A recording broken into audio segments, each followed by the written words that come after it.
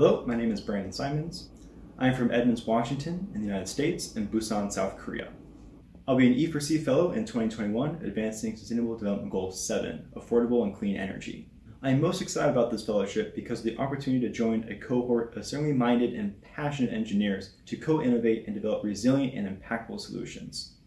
As an E4C Fellow, I'll be working with SolarBuddy with the design and engineering of Family Buddy, a cost-effective, modular, and easy-to-assemble solution to provide lighting, device charging capability, and cooking and cooling functionalities through solar energy.